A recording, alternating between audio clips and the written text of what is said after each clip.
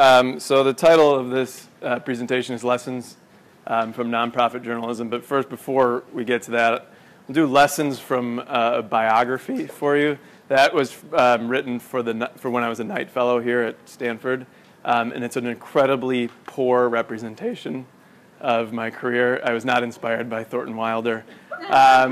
But somebody wrote it, and I thought, no big deal. It's just going to be hidden on this website, and here it is, like two years later, coming back to haunt me still. So, uh, first big lesson, not on the slides. If anybody ever writes a bio about you that you don't like, deal with it right away, uh, um, because the internet will surface those things um, for quite a long time. But um, like Ann said, um, I spent um, a decent amount of uh, time in Costa Rica. I had started as a sort of a traditional newspaper reporter um, right out of college in 2001 um, and had sort of the traditional newspaper upbringing. Uh, but I'd left um, San Diego and moved to Central America, sort of looking for a little bit of an, an adventure, and, and also was quite unhappy with uh, kind of what the professional landscape was like um, for me uh, in, in journalism in San Diego. And so while I was down there, I was working on a story with the LA Times, and um, I, there was a whole presidential corruption problem there. And I was meeting with um, one of their reporters in a bar, um, and having a beer with him, and he was he said, um, you know, he was talking to me about what I wanted to do with my career, and I was saying I wanted to move back to San Diego um, and do investigative reporting, and he'd spent a good deal of his career in, in San Diego before going down to Latin America, and he said, um, well, if you want to do investigative reporting, um, you won't be going to San Diego. And I said to him, well, you never know, maybe there'll be a group of rich, smart old people that'll put up a bunch of money to start a new publication. Um, and he uh, proceeded to laugh at me the way that a, a, more veteran reporter laughs at a really young reporter. Um, uh, two weeks later, I got an email from a group of uh, rich, smart, old people uh, that were putting together a new publication in San Diego. Um, and that is eventually what uh, we started, became Voice of San Diego. And I tell you that story just because um, really the, um, the idea that it would uh, that you'd start a new publication. Back then, this was 10 years ago, 2004. Um, the idea that you'd start a new publication was actually laughable. Um, and you fast forward to 10 years uh, later, and not only is it not laughable, it's what's happening, what, every single day across journalism and across all sorts of different, um, all kinds of different journalism publications are popping up. So um, the landscape has, has shifted uh, quite a bit since, um, since we were doing that 10 years ago. And there's something really, there was something really specific about that time, I think, that's really instructive. Um, first, before we kind of dive in, and that is that um, you had all these, um, you had a sort of trend of consolidation um, across uh, newspapers in big cities in America. So you had monopolies, right? You had in San Diego in the early 90s, you had three major newspapers battling with each other every day in competition. You had a, um, an, a morning paper in the Union, you had an Evening Tribune, and then you had the LA Times had a full San Diego edition. So you had all sorts of great, crazy competition, great journalism going on because those organizations were constantly battling with each other. Um, in a course of a few months, you had the LA Times leave town, and then the two newspapers consolidated, and very quickly you just had one monopoly. People had one, basically one choice um, for a newspaper. And for a long time, uh, there was a whole sentiment of unhappiness with people in, um, in San Diego with the job that that one newspaper was doing because you get a monopoly, it's very easy to get lazy, to get arrogant, you're the only show in town. Um, but for, uh, you know, so from the mid 90s though, or the early 90s through the mid 2000s, early 2000s, people really had no recourse. A bunch of the people that helped start Voice of San Diego had been trying to start, uh, trying to think about how to start a new newspaper, but every time they dug into it, it was just way too expensive. I mean, you had to spend you know more than half of your money on the printing press and on the, actual paper and on the trucks to deliver it. And so it was just prohibitively too expensive. But what happened was you had sort of the angst and unhappiness that people had in that monopoly rising um, at the same time that the barriers to entry in journalism were going down rapidly. And in the, you know, in the fall of 2004, when we really got going, finally you could see a way that you could start a new publication um, online and reach uh, larger audiences, but you could do it for just really like a fraction, a fraction of the cost. Basically, newspapers were spending at that time about um, three quarters of their budgets on the actual production of the newspaper, like the actual physical production, and then the rest of the quarter is the newsroom and everybody like that. We go, you know, we as a nonprofit and going just online only were able to spend about 80% of our money on actual journalists. So the margins were just uh, flipped that way, and I think really sort of, uh, you know, and that's what you're seeing, excuse me, to this day is just that now the money can actually be spent on the journalism and not on all sort of that hard production. So just want to go through some basic like lessons that I learned and things like that, and then we can just kind of get into some conversation. Um, the first one is start is start small. Um, uh, there's a great saying, and I can't even remember who said it, but somebody something it goes something like this: like, don't try to do something on everything, but do everything on something. Um, and that's what you're seeing with all kinds of different startups right now. Is just uh, starting small and being a niche publication. What is it that you can do better than anybody else? Um, each one of you has a fascination or an, expertise in something. Um, what is it that you can follow in your passion that you could be the person or the expert on um, and really carve out a niche? For us, it was um, let's do investigative reporting on San Diego politics. That was one thing that we wanted to do really, really well. And then from there, you can grow. We built up an audience, and then we could move on to other things. But it was really that idea that was really starting small um, when you start up a new publication, you're going to get you get tons of story ideas, um, and you have a small staff, and you have to make a ton of decisions about what you say yes and no to. And so as soon as you define, you put a stake in the ground. This is what we do, and this is who we are. Then you can um, really establish yourself, and then kind of slowly grow and move on. Um, this is something that's happening in a lot of different publications right now. There's a great one called Syria Deeply. I don't know if you've heard about that, but they focus just on the Syrian war a small, you know, it's a small group, and they've got ideas. They now they're going to move. They've perfected that model, and they're going to move on and cover, cover um, resources exploration in the Arctic. Right, totally unrelated, but another fascinating topic that they've just perfected the model on one thing, and then they're moving it um, to the next because you learn tons of lessons from just starting really small. Um, and there's a great, uh, I don't know if any of you read the, there's a great blog by um, Jay Rosen, who's a professor at NYU called PressThink. But he's got a great post in the last couple weeks on this, on the starting small and starting a niche um, publication about what that can teach sort of young journalists and young entrepreneurs. Um, the second thing is to make friends. Uh, when we started, um, I think my mom was the only reader. Um, you know, I mean, we really had to start by one by one by one to amass a readership. Um, but there are tons of places out there that have absolutely huge audiences that are cutting back on their budgets and they're desperately looking for people to be experts on something and for people to feed them stories. And so um, making friends and making partnerships is an incredibly important part of starting something like this. Um, for us, we, uh, we created a partnership with NBC um, really, really early. Uh, that was incredibly important because, like I said, we had such a small audience. We had really good stuff, but it was sort of like creating this really great product and leaving it on the curb and hoping, hoping somebody like wandered upon it and left their money down next to it. But with NBC, they had like, you know, almost 100,000 people every night and they had just laid off a bunch of people and they needed somebody to come on and to give them stories and so it worked really really well um, a lot of times with those friends uh, my advice for people is that it's a lot better if you try to find an organization that you don't that you don't have the same strengths. It's really natural to think like, oh, these people do the same thing as us. We should be partners. We should be friends. But really, if you both do the same thing, you don't have a whole lot to offer to the other person. So I would say look for people that are actually quite opposite to you, but some they don't do what you do, and and you, they have something that you don't have at all. Um, and eventually, so that so that gets you up to like bigger audiences and everything like that. But eventually, those places all have money, and if they become reliable, if they rely on you enough, you can eventually come to them someday and say, "We need some money now for what we're doing." Um, that's what we would end up doing: is offering our stuff for free for a while, um, a little bit like a drug dealer, until people got addicted to it, and then once they were addicted to it, we were like, "All right, it's time to pay, or we're going away."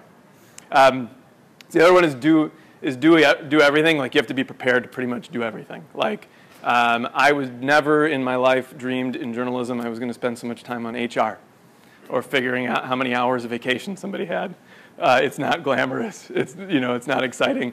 We uh, when we moved offices to save money, um, uh, the top us the top two executives at the place um, moved all the furniture one weekend, um, and uh, probably have uh, a few like really serious back problems still to this day because of it. But you know, you just kind of have to be. You end up being scrappy. You don't have the huge infrastructure, and you start to realize that if we paid ten thousand dollars for movers, we could, you know, for ten thousand dollars, we could hire freelancers for like two months to do amazing stories, right?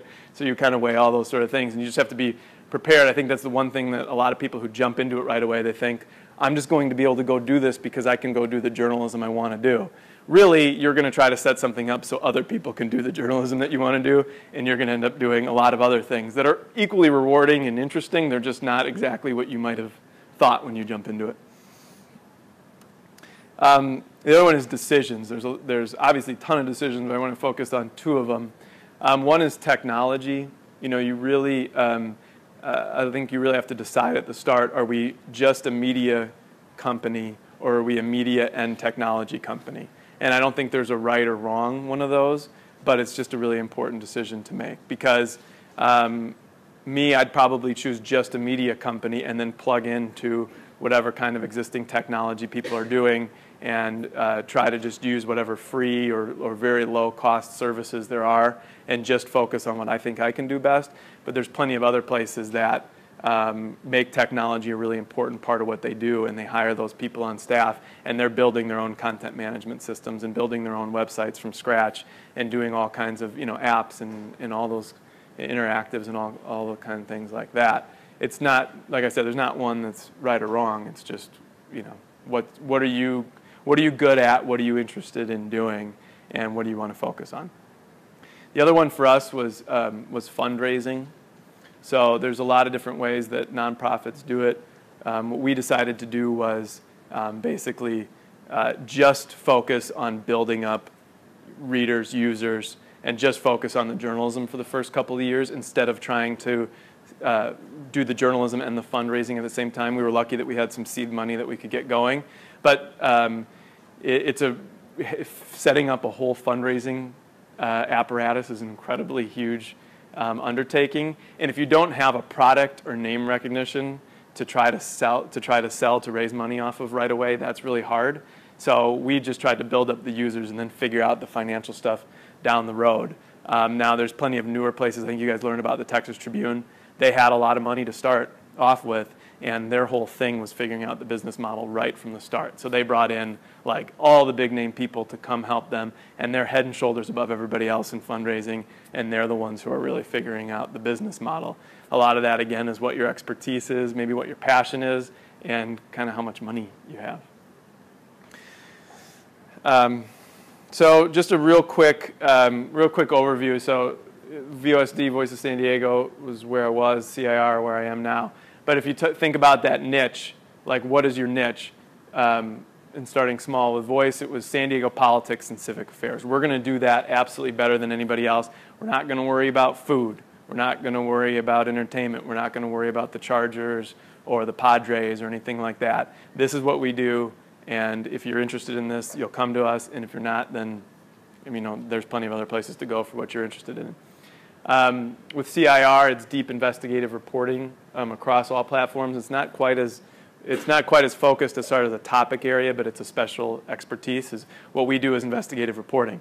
Um, I get all kinds of really great, interesting story ideas on my desk every day, but they're not necessarily investigative. They might be explanatory. They might be feature or whatever. And so because we have the, that box around what we do, it's just a lot easier to say no to those ideas. Even though I want to read them and I think they're interesting, it's just that that's what our identity is. Um, voice is, was web, is web first. Um, so first, the first and foremost, run our website, get an on online publication, and then figure out all these other partners. Um, CIR is built around partnering first. So we, our website is, you know, not a really big important part of what we do, but what what is important is trying to do our stories and then get them out in front of places that have big audiences. So that's on Frontline or on Medium or on the, in the Guardian or places like that. Um, and then the um, the, for the financial part, people always want to know where the money comes from. Um, this is sort of like a newer trend. There's a lot more nonprofit organizations around, um, but it is not like a totally new phenomenon. Public broadcasting has been doing it forever. Um, KQED in here in the Bay Area has been doing it forever, um, but mostly it's um, found, foundations like places like the Knight Foundation, large community foundations, things like that, family foundations.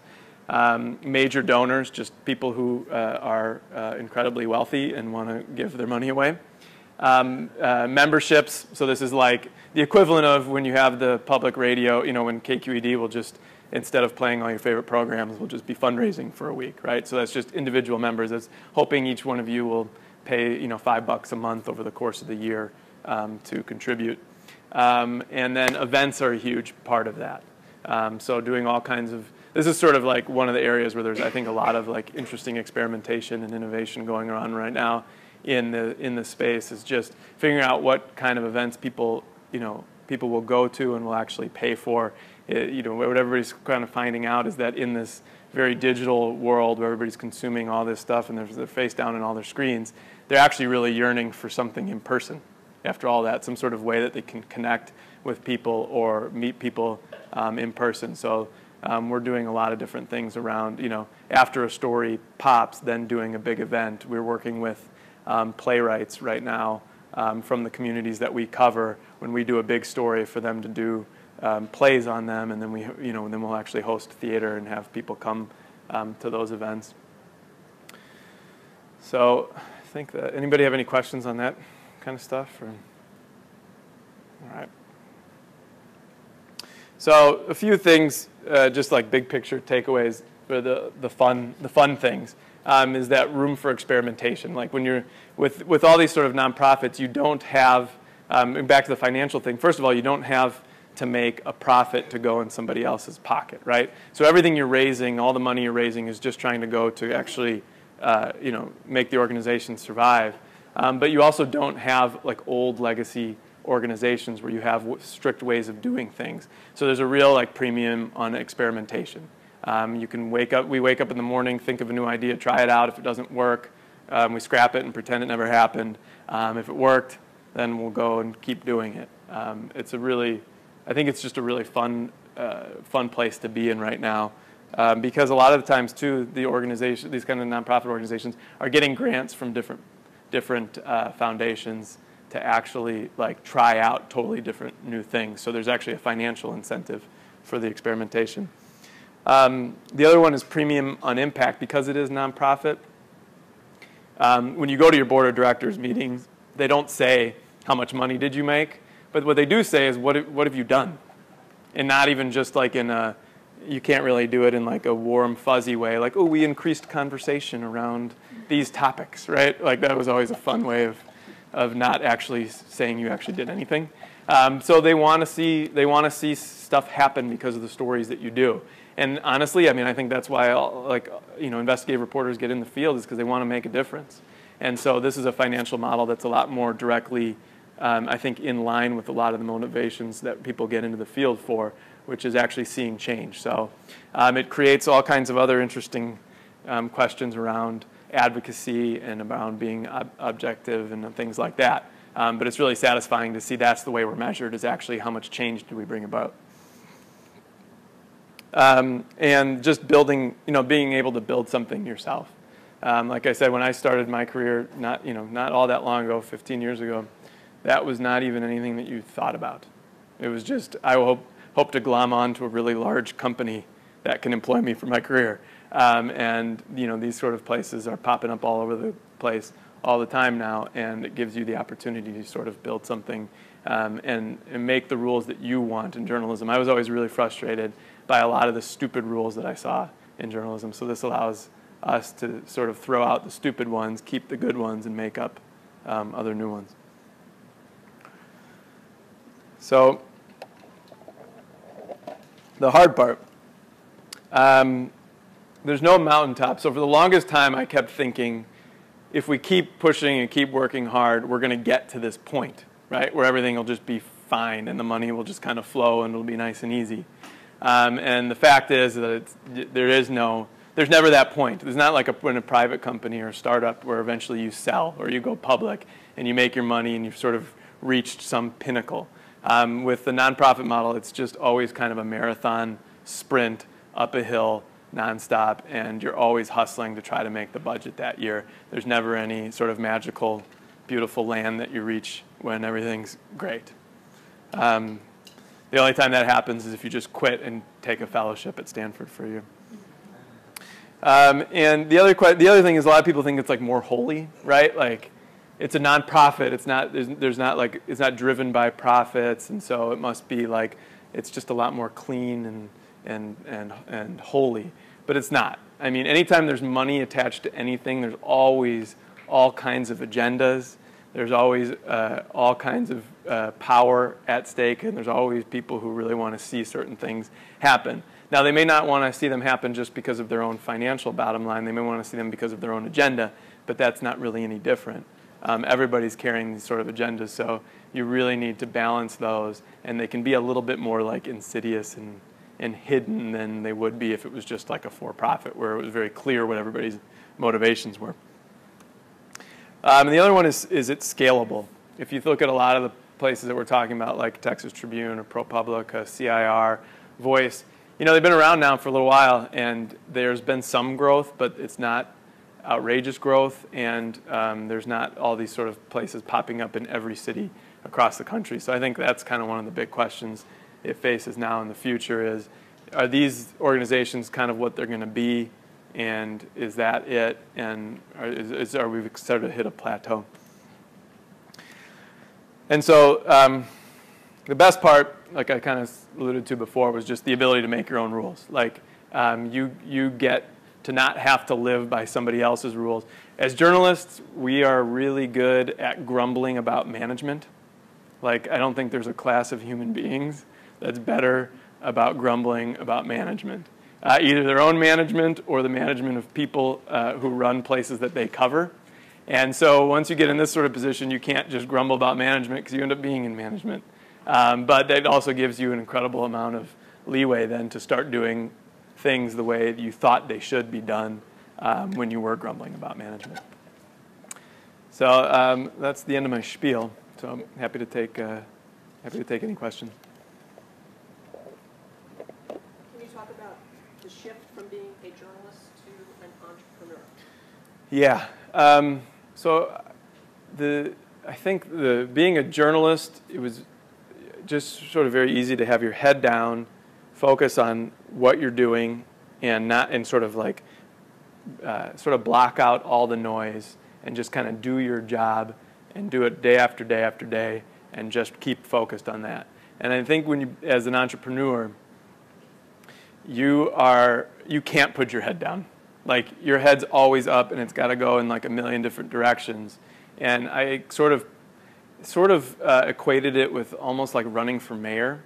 It was like uh, running around to a million different places every day and trying to do like a million different little things. It was like, go speak to this group, go, I got to go do this, and then I got to worry about this and think about this. And it was just, I think my attention span is, was fragmented in about a, a thousand different ways rather than just sort of one easy, simple little goal. Um, but then you get to see like the, the actually the impact of what you do i think is a lot more amplified instead of just one story at a time being one person you're able to like you're able to impact the whole organization that can then move forward towards uh, one goal so i think a lot less sleep a lot more headaches but then i think in the end like a lot more satisfaction. Yeah. Yeah.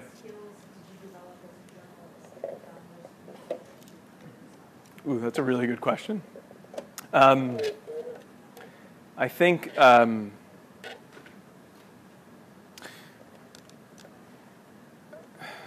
whew, that is a really good question.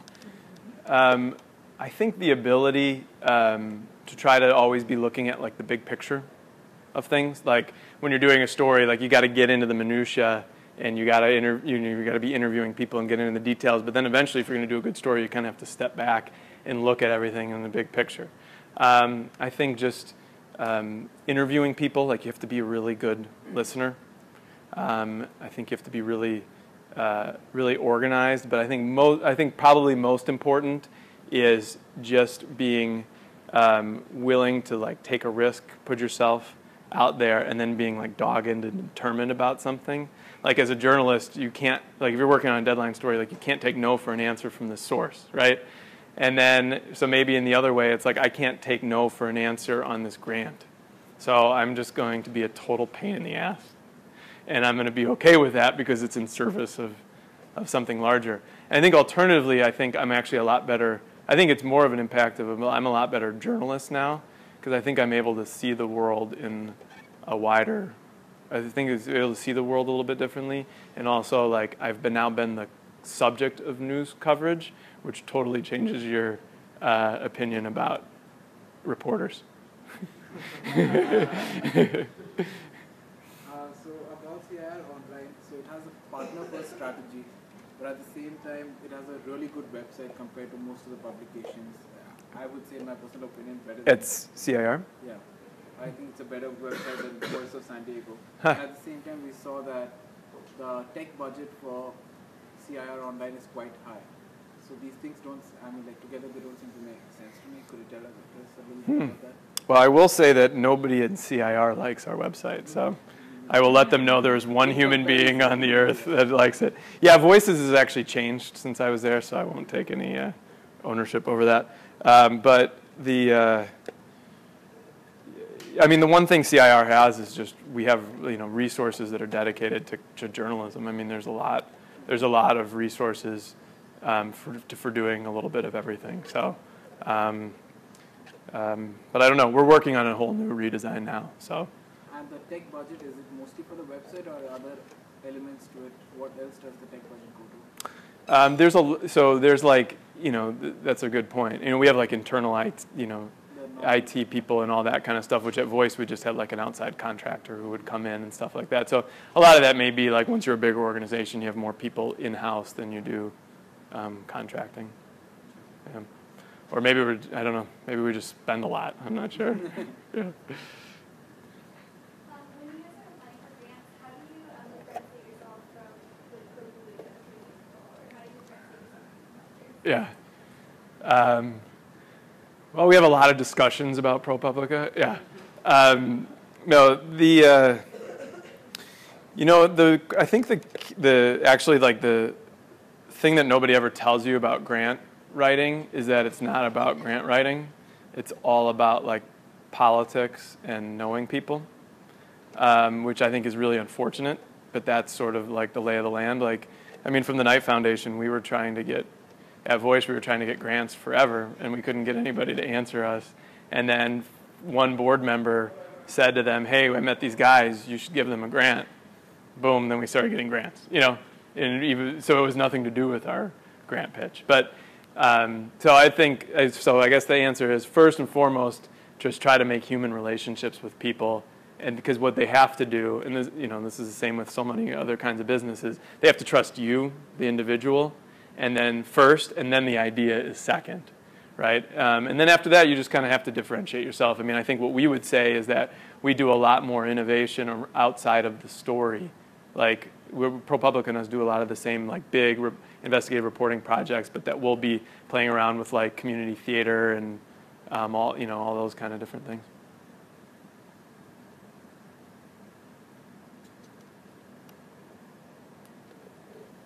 What has been your biggest challenge and how did you solve it? The biggest challenge? Ooh. That's a big question. Um, hmm.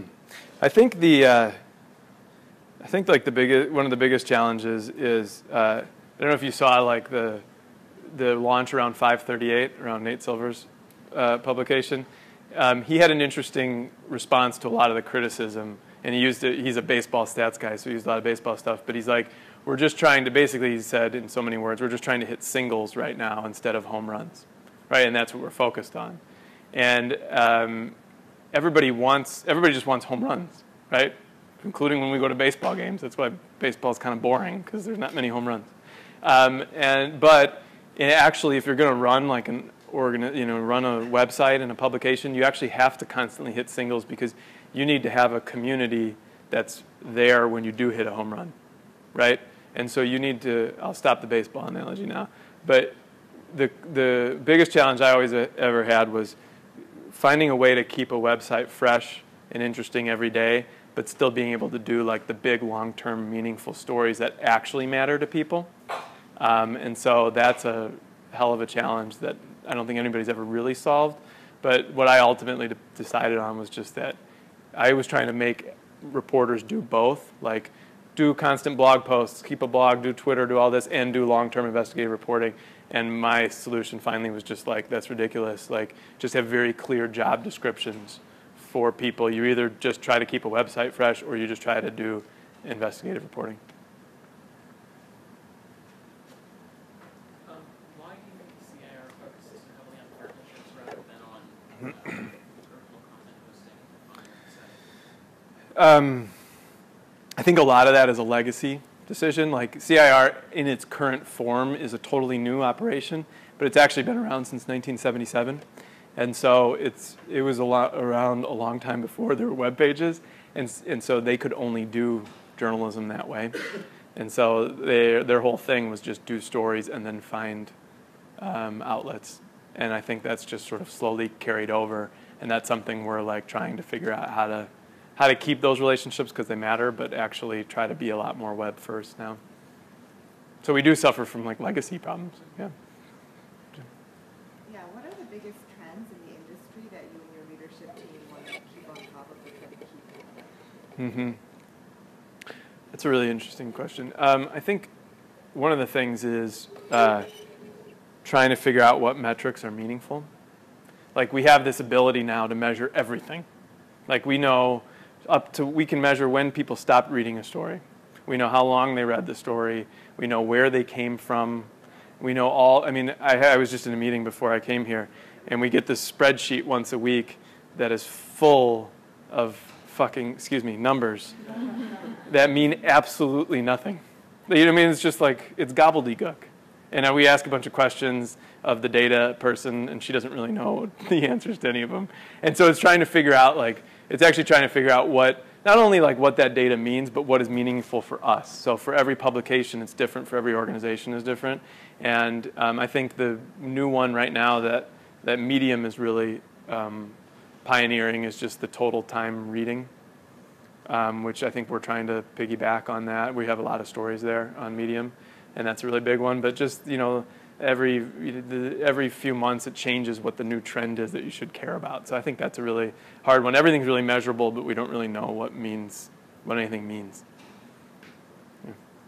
Um, you mentioned that uh, there was a uh, there was the old more seasoned reporter who's kept mentioning about um, old rich people emailing you. Can you tell us how the Yeah. um, correspondence actually began with um, the old rich people? the old rich people, yeah. Well, essentially, I had been a political reporter in San Diego. And so I had worked, uh, a really good friend of mine and I had worked together um, as reporters there. And then I moved, when I moved to Costa Rica, um, he stayed and was uh, doing great stories there. And so when they were, came time to start the publication, they reached out to him and said, hey, we want to hire you. And so he, um, this is kind of a long story, but his wife was in the Navy. He had to leave San Diego. And so he just said, you got to go find this guy. And so they, that's when they uh, found me, and then they hired me, and then we, as soon as his wife got done with being in the Navy, he came back, and then that's we ran Voice together. Yeah.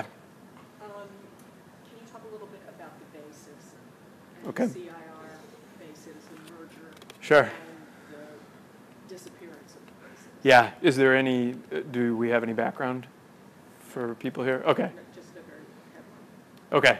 So the Bay Citizen. Any, who here know? Does anybody here know what the Bay Citizen was? Kind of. So it was sort of a. It was like a voice of San Diego, but for the Bay Area. Um, same kind of the same sort of thing. People saw like Chronicle um, cutting back on a lot of coverage, put up money to start a nonprofit.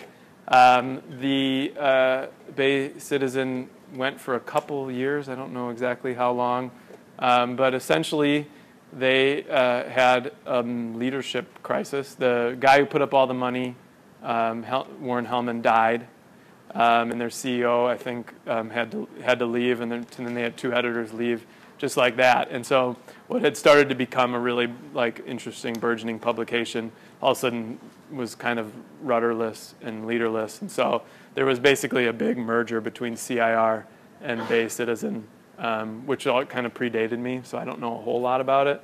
But eventually, they just sort of phased out the Bay Citizen name, and, and that's just become CIR now. So all the kinds of coverage, the, lo- the local coverage that the Bay Citizen was doing, and Yeah, fairly well um, in different parts of the Bay Area. yeah. It's, I wouldn't say it's totally gone. Like, um, I don't know if anybody saw, we did an investigation that came out last month on public housing in Richmond, and, uh, which kind of um, turned into a big story. But what we'll do, what we're doing now is, I think, the long term, they were doing like daily, hourly, uh, you know, publications. And what we've done is tried to take, to take a step back because we, our idea is that people are kind of doing that and just do the bigger long-term project. projects. So uh, we were studying the effects of digital media on journalism.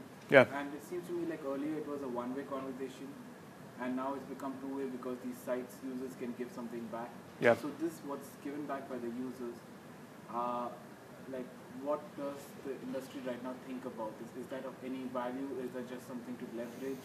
What is what's going on about regarding that whole content that users generate? Yeah, I think that's a great. Uh, I think that's a great question. Um, I mean, the the I think we're just starting to like understand the potential of of crowdsourcing. I mean, there's been a lot of really individual, really cool individual experiments around it, but but still nobody is really tapped into it in any sort of large way to fuel like large reporting projects or fund or fuel how um, organizations even choose what they cover in a way that crowdfunding has, right? They're sort of like, there still hasn't been a sort of um, Kickstarter, but not for money, but for like what uh, community should be covering. So I think what we're starting to do is you're starting to see a lot more of it not just being like dumped into the to the comment section, like, hey, go comment. We want you to comment because, like, in, you know, engagement doesn't equal comment section or Facebook likes or things like that. But um, but actually trying to figure it out in a way that's meaningful, so that we're covering the stuff that people actually that are valuable, that's valuable and interesting to people.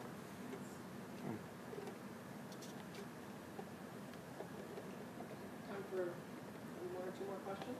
What's the reaction been like to some of the I guess, video experimentation you guys have done? I mean, you've done some animated videos like that. Has that been well received? Yeah, um, I would say that it has. It depends on the piece, um, which is kind of what happens with experimentation, right? Like sometimes it's going to be really good, and sometimes it's going to be uh, really bad. Um, I think, uh, and that's in also internally. You know, I mean, we've we've done a few things that you can tell when it gets screened just for like staff before it goes live that people are very uncomfortable with it. You know, because some of it is trying to take a little bit more of like a lighthearted approach to a serious topic, and people think maybe we're making fun of it or something like that. But other things like there's a we did a animation on the Bin Laden shooting that's like still to this day gets um, more viewership than anything on our YouTube channel. So um, I think it's like anything. Some of it's horrible and some of it's great. Well, thank you very much. Cool. Thank you.